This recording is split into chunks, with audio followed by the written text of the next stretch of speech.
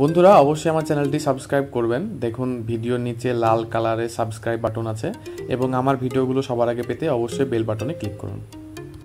Hello viewers, আসসালামু আলাইকুম। টেকনোয়াল বাংলার পক্ষ থেকে আমি তারেক আপনাদেরকে জানাই শুভেচ্ছা ও স্বাগত আজকে বন্ধুরা, আমি আমরা একটি ফোনের রিভিউ সম্পর্কে দেখব আর একটি ফোনের স্পেসিফিকেশন এবং ভালো দিক এবং খারাপ দিক সম্পর্কে দেখব। আজকে বন্ধুরা আমরা জানি হুয়াই বাংলাদেশে সদ্য একটি নতুন ফোন রিলিজ করতে যাচ্ছে, যেটার মডেল হচ্ছে হুয়াই নোভা টু আই। এবং এই ফোনটি বন্ধুরা অন্যান্য দেশে অন্যান্য মডেল হিসাবেও রিলিজ হয়ে যাচ্ছে যেটি ইন্ডিয়াতে যেটির নাম হচ্ছে হনার নাইন আই এবং অন্যান্য দেশে মেড টেন লাইট। তো বন্ধুরা, আজকে আমরা এই ফোনটি সম্পর্কে এর ফুল ওভারভিউ আর ইমপ্রেশনের সাথে সাথে পাবো আমরা ভালো এবং খারাপ দিকগুলো বিস্তারিতভাবে আলোচনা করব। তো প্রথমে বন্ধুরা আমরা চলে যাচ্ছি ডিসপ্লেতে। হুয়াই এখানে ফাইভ পয়েন্ট নাইন ইঞ্চির full review full HD display নিয়ে এসেছে। এর সাইড এবং টপ বটমের বেজেল সাধারণ ফোনের তুলনায় অনেক কম। পিক্সেল ডেস্টিনিটি বেশি হওয়ায় সব কিছু অনেক সুন্দরভাবে ফুটে ওঠে। তবে খারাপ দিক হচ্ছে বন্ধুরা, এখানে কোনো স্কিন গ্লাস প্রোটেক্টর থাকছে না। তাই রেগুলার ইউজাররা একটু সতর্ক থাকতে হবে।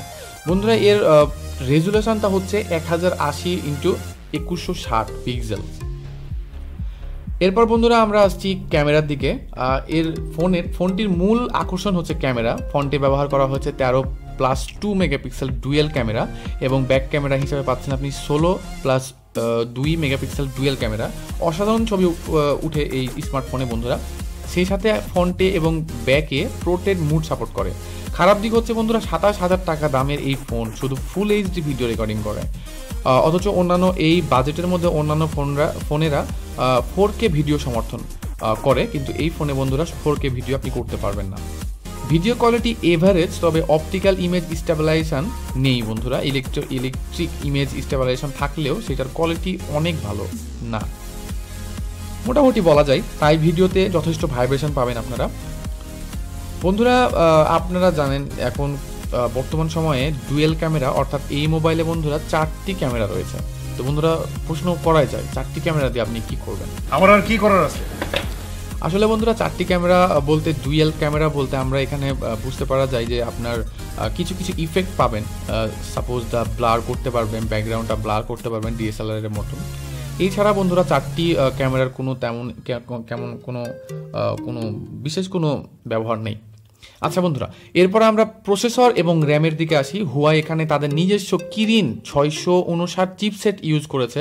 এটা মোটামুটি স্ন্যাপড্রাগন চারশো তিরিশের সমমানের চিপসেট তবে পারফরমেন্স মোটামুটি ভালো। মিডিয়াম লেভেলের গেমগুলো অনায়াসে খেলতে পারবেন, কারণ এখানে চার GB LP DDR three RAM ব্যবহার করা হয়েছে।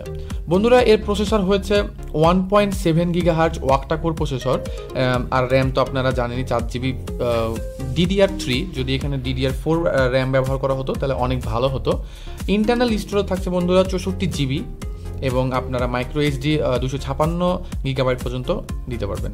খারাপ দিক হচ্ছে বন্ধুরা হাই গ্রাফিক্সের গেমগুলো যখন আপনি খেলতে যাবেন, তখন ল্যাগ করবে, কারণ এর প্রসেসর তেমন একটি ভালো না, কারণ সাতাশ হাজার টাকা দামের বর্তমানে অন্যান্য ফোনরা আমাদের দিচ্ছে স্ন্যাপড্রাগন ছয়শো পঁচিশ প্রসেসর গিগাহাজ প্রসেসর কিন্তু এটি মাত্র চারশো তিরিশ এর গিগাহাজের সমান। আর অন্যান্য ফোনে বন্ধুরা র্যাম দিতেছে হচ্ছে ডিডিআর থ্রি র্যাম কিন্তু এখানে DDR four DDR four RAM কিন্তু এখানে ডিডিআর থ্রি র্যাম ব্যবহার করা হয়েছে। এরপরে আসি আমরা বন্ধুরা ব্যাটারি। এখানে পাচ্ছেন তেত্রিশ ও চল্লিশ এম এ এইট ব্যাটারি, বেশ ভালো ব্যাটারি লাইফ পাবেন। তবে খারাপ দিক হচ্ছে বন্ধুরা, এত দামি একটি স্মার্টফোন অথচ ফাস্ট চার্জ নেই। শুধু তাই নয়, এটি সুপার স্লোলি চার্জ হয়, অনেক সময় লাগে চার্জ হতে, তাই চার্জিং ঝামেলা পোহাতেই হবে। ইউজার ইন্টারফেস এবার আসি বন্ধুরা ইউজার ইন্টারফেসে এখানে ব্যবহার করা হয়েছে Android Nougat seven point O based Huawei নিজস্ব ইউআই ফাইভ পয়েন্ট ওয়ান এবং এইটা, এই ফোনে আপনারা একসাথে দুইটা হোয়াটসঅ্যাপের অ্যাকাউন্ট চালাতে পারবেন। বর্তমানে ইউআই বেশ ভালো এক্সপিরিয়েন্স দিয়ে যাচ্ছে। তবে সেটা অন্য স্মার্টফোনে। খারাপ দিক হচ্ছে স্মার্টফোনের অপটিমাইজড ভালোভাবে করা হয় নাই। এই ইউএস ইউআই ইন্টারফেসটা ভালোভাবে আপনার অপটিমাইজ করা হয় নাই। তো আশা করি হুয়াই তাদের নিজস্ব সফটওয়্যার দ্বারা আপডেট করে নেবে এবং এই সমস্যার সমাধান করবে। এছাড়া বন্ধুরা, এই ফোনে থাকছে compass proximity sensor accelerometer sensor এবং অবশ্যই অবশ্যই fingerprint sensor ambient light sensor এবং গ্যারিস্কোপ এবার চলুন বন্ধুরা, এক নজরে দেখি এর ভালো এবং খারাপ দিকগুলো। ভালো দিক হচ্ছে বন্ধুরা, অসাধারণ ডিসপ্লে ভালো বিল্ড কোয়ালিটি ভালো ব্যাটারি লাইফ ফাস্ট এবং অ্যাকিউরেট ফিঙ্গারপ্রিন্ট স্ক্যানার আর বন্ধুরা, এর খারাপ দিক হচ্ছে জাইরোস্কোপ নেই, তাই আপনারা ভিআর ভার্চুয়াল রিয়ালিটি ব্যবহার করতে পারবেন না।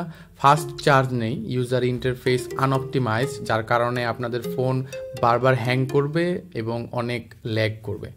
ইউএসবি টাইপ সি নেই। বন্ধুরা, এখনকার লো বাজেটে অনেকগুলা phone US USB type C রয়েছে, কিন্তু এই ফোনে ইউএসবি টাইপ সি নেই এবং গ্লাস প্রোটেকশন নেই।